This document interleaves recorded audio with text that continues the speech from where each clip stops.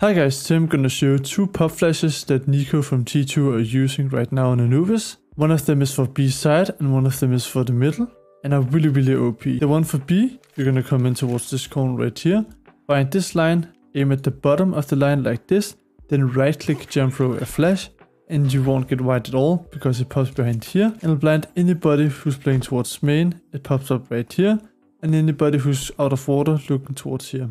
You can either use it just on a timing if you see it begin to execute or you be jiggling and see someone and then throwing the flash instantly. Or you can have a teammate just jiggling, going for the info and you just being ready with the flash.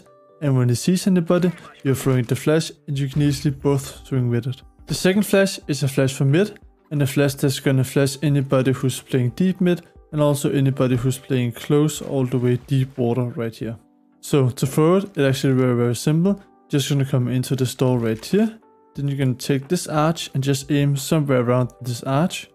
The more you aim to the right, the more it's gonna go and hit middle, and the more you aim to the left, it's more it's gonna hit towards stairs here. So normally just do it in the middle like this and throw your flash. The flash gonna go up right here and blind anybody who's playing deep mid, especially from this angle like just gonna be full white. It's almost impossible to see, especially if you're playing like this, because it's gonna go so far. And because it lands so high, anybody playing deep like this, looking towards water, are gonna also get white by the flash, and anybody playing on this spot right here is also gonna get full white.